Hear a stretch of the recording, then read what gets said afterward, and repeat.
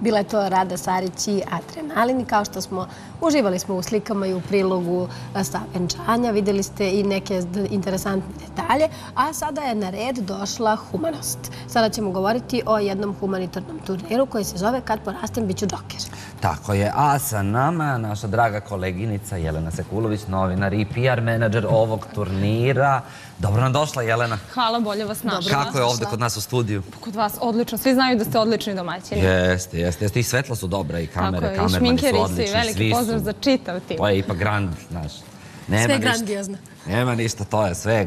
Nema nigde bolje nego na Grandu. Ja mislim da je tako. Ali gde nema još bolje? Nego nema bolje nego kada možete još da nešto radite i da pomognete drugima. Je. I ovoga puta u pitanju jedan humanitarni košarkaški turnir koji će svoje finale imati 28. sada u hali Vasilis Panulis u Zemunu. U pitanju su tereni otvoreni pored hotela Jugoslavije na Zemunskom keju. I vas ću da ispravim. Svi kažu kad porastim bit ću džoker. U stvari je kad porastim bit ću joker. Biću Joker. Tako je, kao, pošto je zaštitno lice ovog turnira uh, Nikola Jokić. Aha. I onda je uvek ta caka i svi pogreše. Tako, pa naravno. Tako vi, ste, vi ste to tako, tako ste stavili, dobro. Nema Mediji su pogrešno preneli. Evo tu sam ja, tu sam ja da razjasnim. Izvini Nikola. Nisam ništa pozna za Nikolu. Tako je. Uh, moram da kažem da sam ponosna na čitav tim. Naš turnir je počeo pre tri vikenda i učestvovalo je 128 ekipa, preko 500 učesnika, kako devojčica i dešaka, koji su rođeni 2002. i 2003. godine. I zaista smo ponosni zato što su pristupili veoma ozbiljno. Branili su boje svoje svoje škole, svog opštine, mada mi smo očekivali da to bude na nivou Beograda, ali dolazili su ekipe iz okoline i okolnih gradova i dolazili su porodici, prijatelji i baš su onako navijali i bilo je super. Da, te se održano u Ranko Žeravici, je li tako? Tako je, tako je, vikendima. Kvalifikacioni turniri. Tako je. A sada nas čeka finale u 17 sati, je li tako, u nedelju? Tako je. E, četiri najbolje ekipe, najbolje među najboljima, e, odmerit će svoje snage u nedelju 28. u 17 časova. A bit će još nešto interesantno, odmah posle tog odmeravanja snaga, bit će još jedno odmeravanje snaga. Tako je, rekli ste da je humanitarno karaktera, to znači da su se mnoge naše javne ličnosti odazvale i u 18 časova gađaće trojke. Svaka trojka vredi 2000 dinara i celokupan... Koliko pokušaja imaju? Pa vidjet ćemo. Nećemo se predržavamo pravilama kada je u pitanju humanitarno. Tako je. Sav iznos bit će uplaćen košarkaškom klubu Ikar iz Gornjeg Milanovca, koji je jedini klub e, deca ometena u razvoju. Košarkaški, da. Tako je, tako je. E, jako, jako, zaista divan povod i pozivamo sve Beograđane, ljude iz Zemuna i iz okoline kogod može u nedelju da dođe. Dakle, Vasilis, Panulis, tereni, blizu hotela Jugoslavije. Tako je i zvezda dana Nikola Jokić. Zvezda dana Nikola Jokić koji je zaista to podržao, ali podržao i Miloš Teodosić koliko zna. Tako je. E, finalisti će dobiti nagradu. Miloš Teodosić je dao e, boravak u svom kampu Teo 4 za pobednike, a e, akciju su podržali i Ognjen Amidžić, Gastos, Viktor Savić, Gru i mnogobrojne javne ličnosti. Hoće oni biti tu da ispucavaju te trojke? Biće tu, oni gađaju te trojke, verujemo da imaju tremu, ali kada je u pitanju... Da će da im zadrhti ruka kada bude trebalo da se šuta trojka. Pa zadrhti i profesionalcima, a kamoli amaterima. Pa da, ali s druge strane, kada znaju da je ovako divan povod, onda...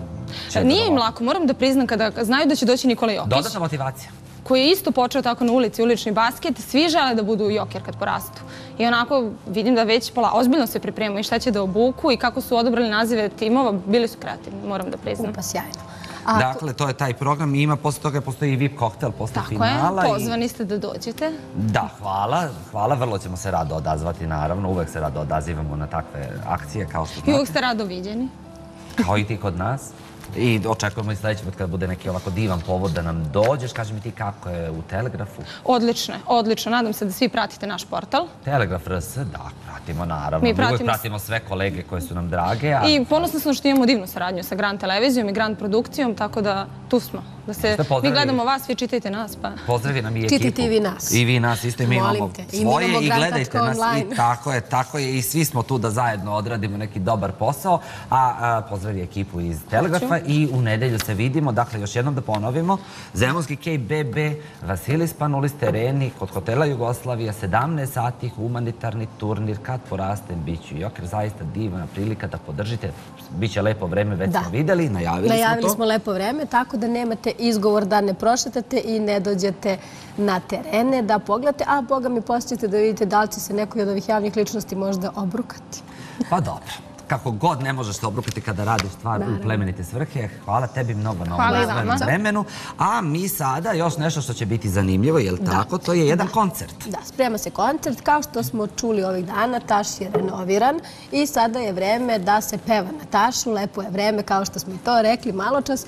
Sutra, 27. na Tašu nastupaće Džena Lončarević. Svi oni koji ga vole i žele da slušaju njegovu muziku mogu doći i uživati. Džena otvara sezonu, da, koncerata ide i odmah iza toga spektakl Sinan Sakić 3. juna, a onda ćemo vas blagovremeno obaveštavati i sve ostalo šta se bude dešavalo. Ima još najavljeni koncert, koliko znam i Kiki Lesendrić i Lexington Band i tako dalje. Tu smo da vas obaveštavamo svemu tome, a za one koji E, će ići pa da se malo pripreme ili za one koje neće moći pa da uživaju u Džeranove pesmi sada ide Lako noć.